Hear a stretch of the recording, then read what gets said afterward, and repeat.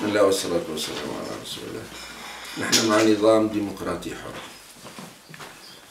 سواء كان هذا النظام الديمقراطي يميل إلى النظام الرئاسي أو إلى النظام البرلماني. لكن وفي الغرب اللي هو النموذج الديمقراطي هنالك أنظمة برلمانية ديمقراطية وأنظمة رئاسية ديمقراطية أيضا. لكن بحكم التجربة في تونس أن تونس خضعت لنظام رئاسي شديد فنحن ومعظم الناس يميلون إلى أن يكون النظام برلماني آه، أن تخفف مسؤولية الرئيس إلى درجة أن يصبح رمزيا أو أن يكون مزيج بين النظام البرلماني والرئاسي. برلماسي. أي هو وسط بين النظام البرلماني والنظام الرئاسي. على نحو أن الرئيس تبقى عنده مسؤوليات حتى البلد ما يتمزقش وأيضا آه، تكون مسؤولياته محدودة لصالح الحكومة أن تكون حكومة قوية منتخبة آه، يمكن مراقبتها يمكن تغييرها. فنحن إذا نميل إلى نظام برلماني آه، مع مزيج من النظام الرئاسي. نحن الآن بصدد إعداد برنامج اقتصادي لأن الفترة السابقة لم نكن مشغولين بإعداد البرامج كنا مشغولين بالدفاع عن وجودنا الذي كان مستهدفا من طرف النظام المخلوع. نحن الآن نعد برنامج. خطوطه الرئيسية هذا البرنامج هو آه، يركز على التنمية.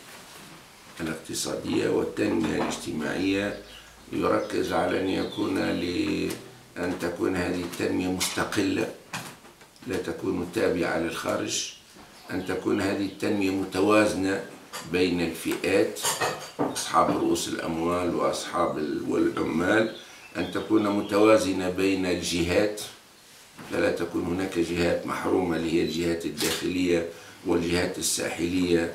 جهات يعني نامية نريد تنمية تشارك فيها النساء يشارك فيها الرجال. نريد تنمية آه، تراعي البيئة لا تدمر البيئة. التنمية التي قادها بن علي كان فيها تدمير للبيئة فمدينة صفاقس الآن تعتبر مدينة مدينة كوارث ومدينة جابس كذلك تعتبر مدينة كوارث بسبب تدمير البيئة. فنحن نريد تنمية تراعي البيئة تراعي التوازن بين الجهات وتراعي التوازن بين الفئات. تنمية مستقلة تنمية مستديمة. فلا يعيش جيل على حساب الأجيال السابقة وإنما تكون تنمية متواصلة.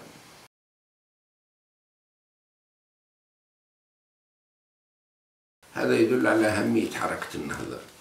لأن المجتمع التونسي ليس منقسم حول الأحزاب الأخرى لأنه لا يعطيها أهمية كبيرة هو منقسم حول النهضة لأنها حركة كبيرة ولأنه ينظر إليها على أنها يمكن أن تقوم بشيء لإنقاذ المجتمع التونسي.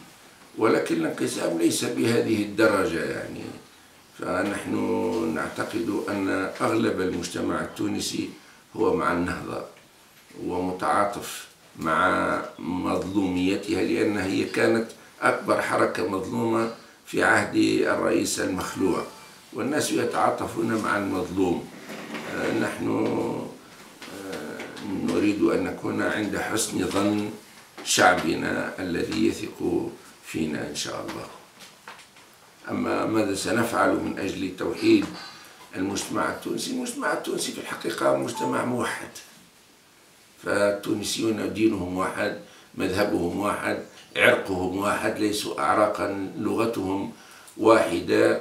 ولذلك أيضا استطاعت جماعة النهضة استطعنا أن نتحاور مع الأحزاب العلمانية الأخرى خلال العشر سنوات الماضية ووصلنا فيه إلى تكوين ائتلاف ديمقراطي اسمه حركة 18 أكتوبر ضمت أهم الأحزاب الديمقراطي والليبرالي والعلمي والشيوعي والإسلامي حول برنامج مشترك يتكون من الإيمان بالديمقراطية والتعددية والمساواة بين الجنسين واعتبار أن تونس والاتفاق حول هوية تونس أنها دولة عربية آه، إسلامية. هذا أصبح قدر متفق بيننا وبين أهم أحزاب المعارضة في المجتمع التونسي موحد في الحقيقة ولكن بعض الناس الآن يستخدمون بزنس الخوف يخوفون الناس من النهضة يخوفون العلمانيين يخوفون النساء وهو في الحقيقة سياسة. يعني يستخدمون سياسة بن علي في فزاعة الإسلاميين التخويف. ولأن الشعب التونسي ثار على بن علي فالمفروض سياسة التخويف هذه تنتهي الزينة من من التخويف. الشعب ما عادش يخاف إلا من خلقه.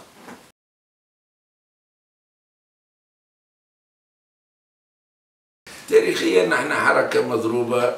يعني هي دولة كانت تلتفت لنا نحن. الناس ما يلتفتوا للأحزاب اللي اللي ممكن تحكم. بينما نحن حركة خلال عشرين سنة ورحات تدور عليها.